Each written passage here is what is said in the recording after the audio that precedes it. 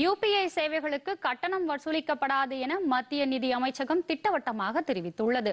Google Pay PhonePe beam என பல்வேறு செயலிகள் மூலம் யுபிஐ பண பரிவர்த்தனை மேற்கொள்ளப்பட்டு வருகிறது. நாளுக்கு நாள் இதன் பயனாளர்கள் எண்ணிக்கை அதிகரித்துக் கொண்டே வருகிறது. இந்த நிலையில் யுபிஐ பண பரிவர்த்தனைகள் ஒவ்வொன்றுக்கும் சேவை கட்டணம் வசூலிக்கும் முறையை மத்திய அரசு கொண்டு வரப்போவதாக தகவல் வெளியானது. இந்த தகவலை தற்போது மத்திய நிதி அமைச்சகம் திட்டவட்டமாக மறுத்துள்ளது.